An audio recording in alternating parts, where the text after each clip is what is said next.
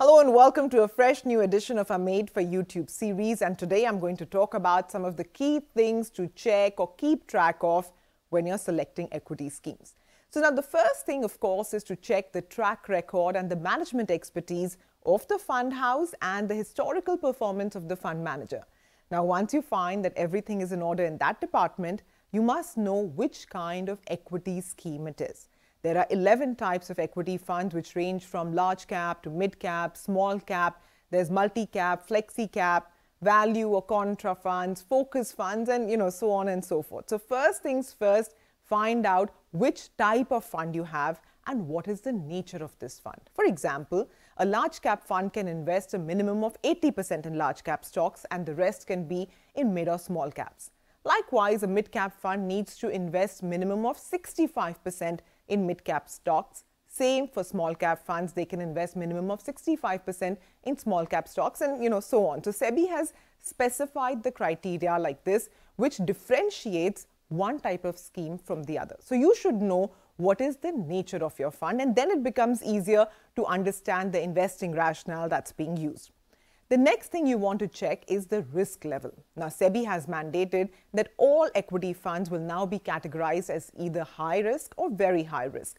So, you know, there's not much of a difference there, but within this, it's important to check the standard deviation of the scheme and compare it to its category average. This will tell you exactly how volatile your fund is and how much of a variance you can expect in terms of return. So basically, lower standard deviation will show more consistency and returns and a higher ratio will mean that a larger swing can be likely. For me personally, Sharpe ratio is also quite meaningful which provides an idea of risk adjusted returns. So how much risk was taken to deliver those returns. So naturally, a fund which takes lower risk to deliver superior returns will be a better bet.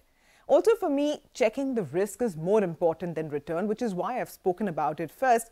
Now, when it comes to returns, it's important to check the consistency of returns and not just the near-term performance of the fund. So you can look at a metric like say a three-year or a five-year rolling return, which will provide a much better understanding of whether or not the returns have been consistent.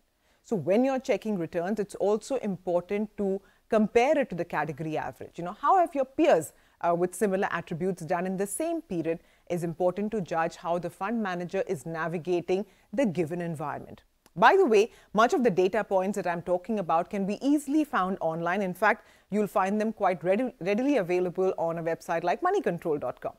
Now, for diversified equity funds, it's important to check the allocation to you know large, mid, and small cap stocks. Basically, you want to know what is the orientation of that scheme.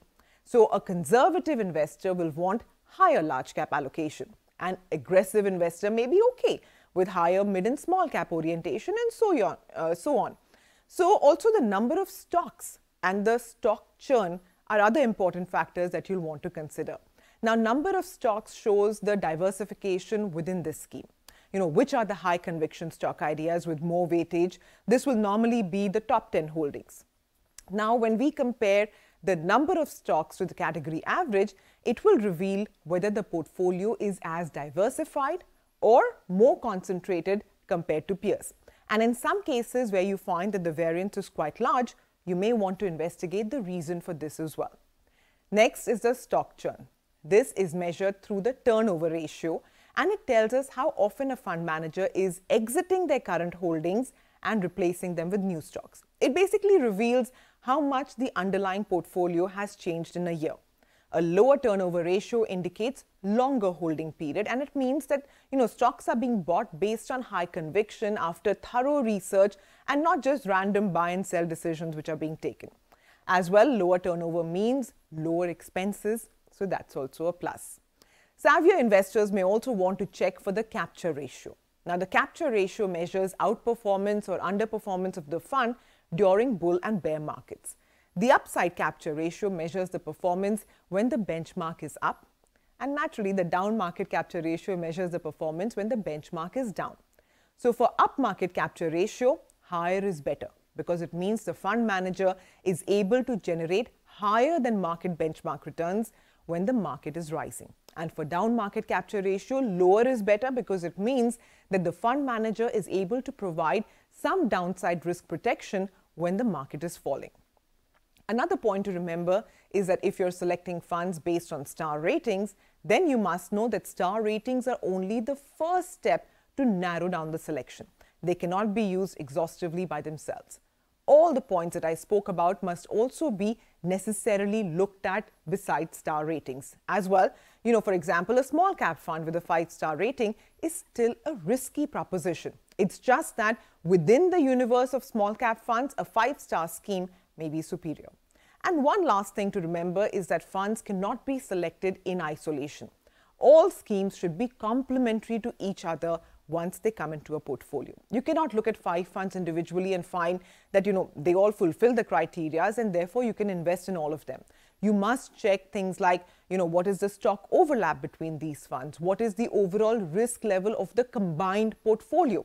You know what investing styles uh, do your selected funds follow because you don't want to stuff your portfolio entirely with either value funds or growth funds because ideally you want a mix so that some part of your portfolio is always performing across different market cycles. So as you can see, selecting a fund is no mean feat. There are quite a lot of metrics which savvy investors uh, must consider. But you know, what I've spoken about is just a very basic checklist which must be followed. And you know, don't be deterred or intimidated by this process because all of the effort must be made at the time of fund selection and then it's way easier for you to just rebalance and keep track of your portfolio. So I urge you to get involved with this process and spend a few weekends in correctly creating a portfolio to prevent repenting later. So I hope you found this useful. Thanks very much for watching. Stay safe.